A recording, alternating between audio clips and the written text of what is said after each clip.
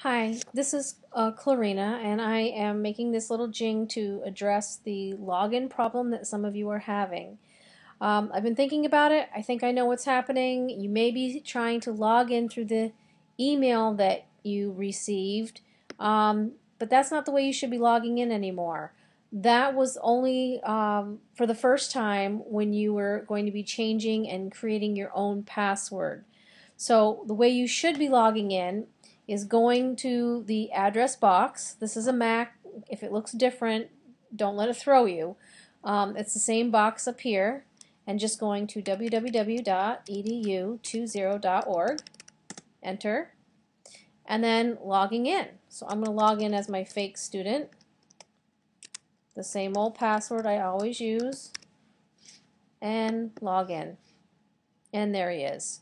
So I think that's the problem, and if it is does not solve the problem, please shoot me another email and we'll see if we can't take care of it.